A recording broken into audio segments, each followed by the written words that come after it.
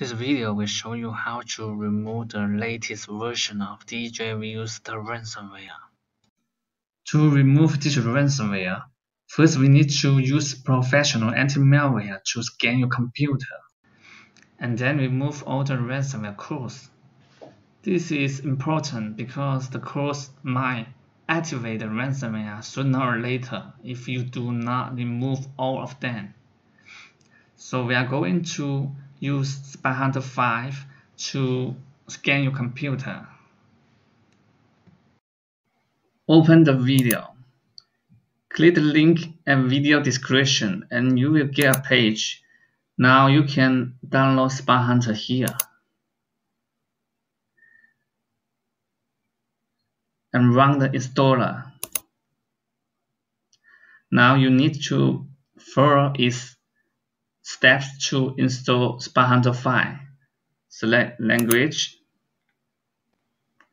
and continue and accept and install. Just wait about one or two minutes. When you finish, start a scan now.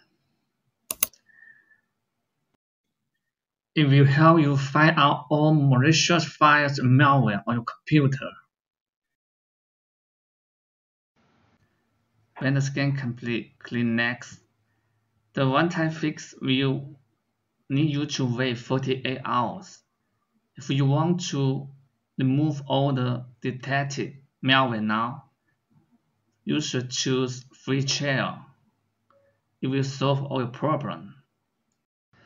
Once your computer is clean and protected by anti-malware, you can try some free decryption tools on Antisoft and No More Ransom.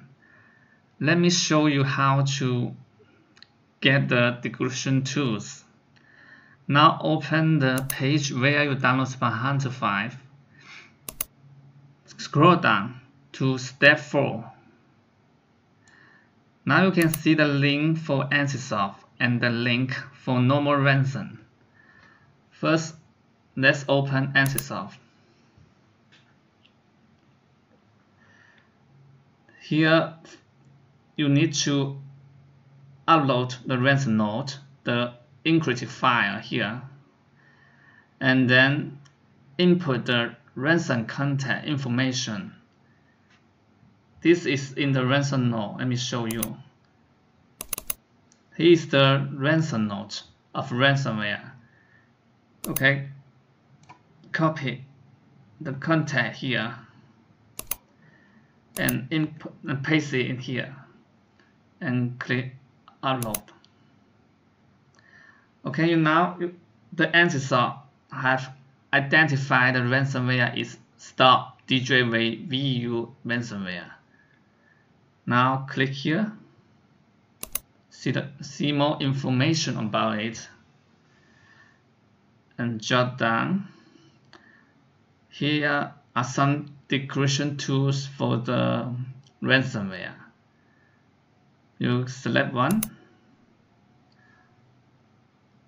and download and then see if it can decrypt your files. Now let's try the No More Ransom. This is simple. Input the name of the ransomware. For example, DJVU. Okay, if you found it, click here and download the tool.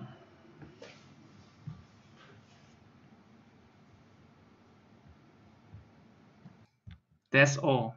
Thank you watching the video from easysolvemalware.com. We hope it solves your problem.